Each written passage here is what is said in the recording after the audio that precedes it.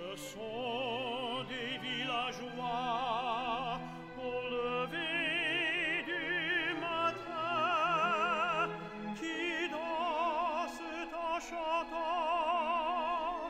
sur la verte pelouse